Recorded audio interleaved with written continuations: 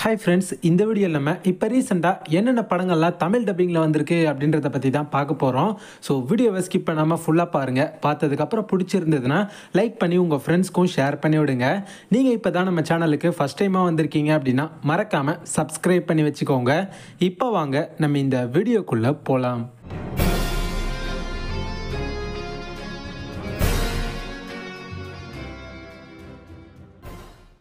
Number five two thousand டுவெண்ட்டியில் release ஆன சிம்மர் ஐஎம்டிபியிலேருந்து ஃபைவ் பாயிண்ட் ஒன் ரேட்டிங் தந்திருக்காங்க.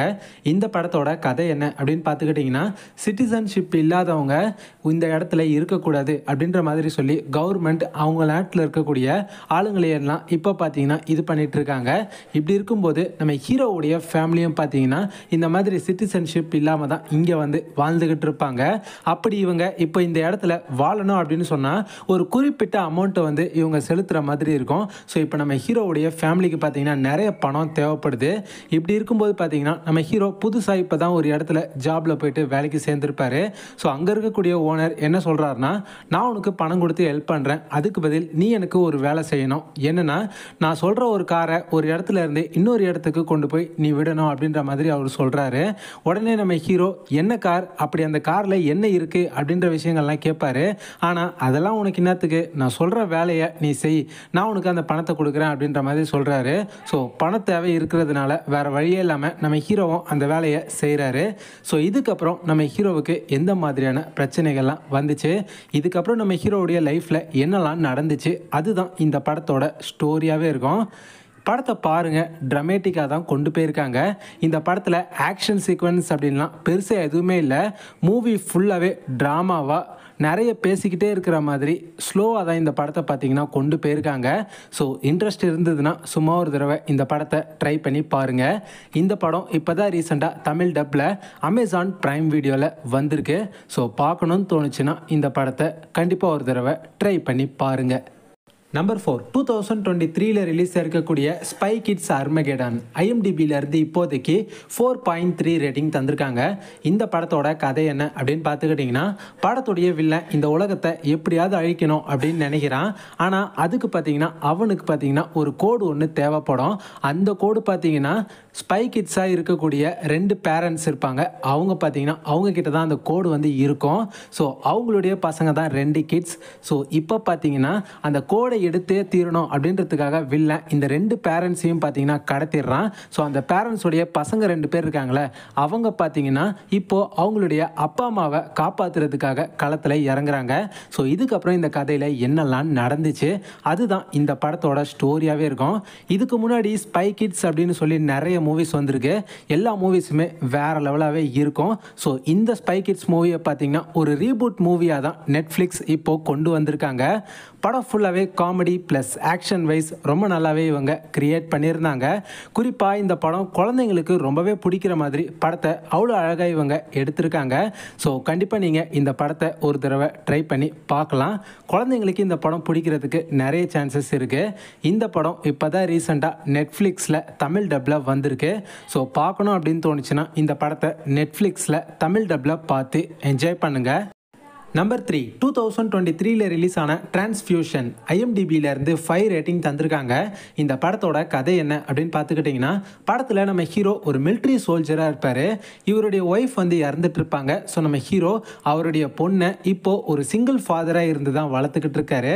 நம்ம ஹீரோ பார்த்தீங்கன்னா ஒரு கட்டத்தில் ஃபினான்ஷியலாக அவர் ரொம்பவே கஷ்டமாக அவருக்கு வந்து வந்துடுது ஸோ நம்ம ஹீரோவுக்கு பார்த்தீங்கன்னா அவருடைய ஃபேமிலியை ரன் பண்ணுறதுக்கு கூட அவர்கிட்ட காசு இல்லை. ஸோ நம்ம ஹீரோ வேறு வழியே இல்லாமல் பார்த்தீங்கன்னா கிரிமினல்ஸ் அண்டர் கிரவுண்ட் கனெக்டிங்கில் ஒரு சில வேலைகள்லாம் செய்ய ஆரம்பிக்கிறாரு.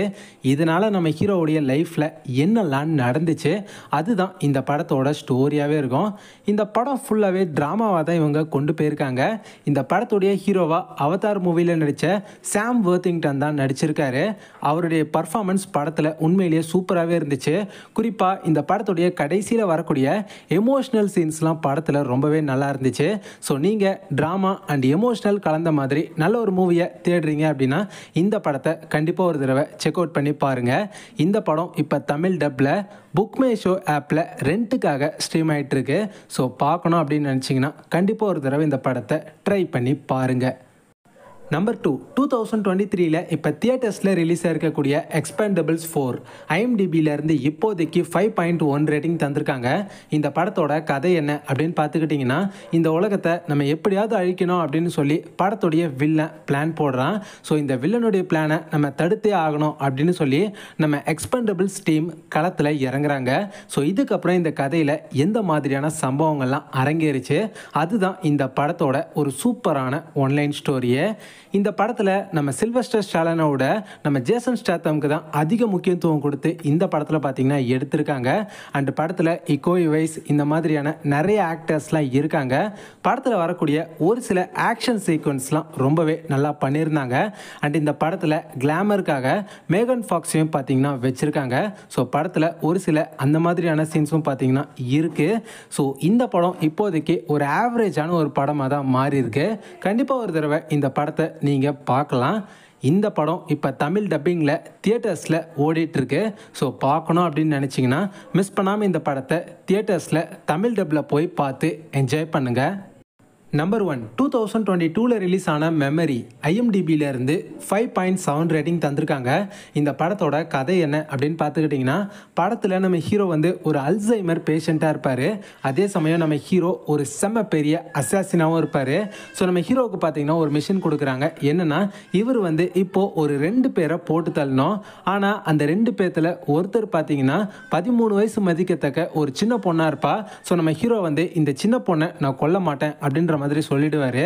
ஆனால் அவனுங்க பார்த்தீங்கன்னா நீ இந்த பொண்ணை கொன்னே தீரணும் அப்படின்னு சொல்லுவானுங்க. ஒரு கட்டத்தில் நம்ம ஹீரோ அந்த பொண்ணை கொல்லாததுனால அவனுங்களே ஆள் வச்சு அந்த பொண்ணை பார்த்தீங்கன்னா சாவடிச்சிடுறாங்க. ஸோ இதனால நம்ம ஹீரோ செம்ம கோபமாயிடுறாரு இதுக்கப்புறம் இந்த கதையில் என்னெல்லாம் நடந்துச்சு? அதே சமயம் இன்னொரு பக்கம் பார்த்தீங்கன்னா போலீஸும் பார்த்தீங்கன்னா இந்த கேஸை பற்றி இன்வெஸ்டிகேட் பண்ணிட்டு இருப்பாங்க. அவங்க எந்த மாதிரியான விஷயங்களை எல்லாம் கண்டுபிடிச்சாங்க. இதுதான் இந்த படத்தோட நல்ல ஒரு ஸ்டோரியாகவே இருக்கும். இந்த படத்தில் ஹீரோவாக நம்ம லியாம் நேசன் சார் தான் நடிச்சிருக்காரு. படத்தை பாருங்கள் இன்ட்ரெஸ்டிங்காக ஆக்ஷன் சீக்வன்ஸோட வேற லெவலில் எடுத்திருக்காங்க. லியாம் நேசன் மூவிஸ்னாலே ஆக்ஷன் சீக்வன்ஸ்லாம் அதகலமாக தான் இருக்கும். ஸோ இந்த படத்தில் வரக்கூடிய ஆக்ஷன் சீக்வன்ஸும் நல்லா தான் பண்ணியிருந்தாங்க. மூவி ஃபுல்லாகவே ரொம்ப இன்ட்ரெஸ்டிங்காக சூப்பராக செம்மையான ஒரு ஆக்ஷன் த்ரில்லராகவே எடுத்திருந்தாங்க. ஸோ பார்க்கலன்னா கண்டிப்பாக இந்த படத்தை செக் அவுட் பண்ணி பாருங்கள் இந்த படம் இப்போ தான் ரீசெண்டாக தமிழ் டப்பில் அமேசான் ப்ரைம் வீடியோவில் வந்திருக்கு. ஸோ இந்த படத்தை நீங்கள் பார்க்கல அப்படின்னா கண்டிப்பாக மிஸ் பண்ணாமல் அமேசான் ப்ரைம் வீடியோவில் தமிழ் டப்பில் பார்த்து என்ஜாய் பண்ணுங்கள் இப்போ நான் சொன்ன இந்த அஞ்சு படங்கள் தான் இப்போ ரீசெண்டாக தமிழ் டப்பிங்கில் வந்திருக்கு. ஸோ பார்க்காதவங்க கண்டிப்பாக மிஸ் பண்ணாமல் பார்த்து என்ஜாய் பண்ணுங்கள் இந்த வீடியோ உங்கள் எல்லாருக்குமே பிடிச்சிருக்கும் அப்படின்னு நம்புகிறேன் பிடிச்சிருந்ததுன்னா லைக் பண்ணி உங்கள் ஃப்ரெண்ட்ஸ்க்கும் இந்த வீடியோவை ஷேர் பண்ணி விடுங்க. நீங்கள் இன்னும் நம்ம சேனலை சப்ஸ்கிரைப் பண்ணாமல் பார்த்துட்ருக்கீங்கன்னா மறக்காமல் சப்ஸ்கிரைப் பண்ணி வச்சுக்கோங்க. அப்போ தான் டெய்லி நம்ம சேனலில் போடக்கூடிய எல்லா வீடியோஸும் ஆன் டைமாக உங்களுக்கு நோட்டிஃபிகேஷனாக வந்து சேரும். இதே மாதிரி இன்னொரு இன்ட்ரெஸ்டிங்கான அடுத்த வீடியோவில் பார்க்கலாம். Bye guys.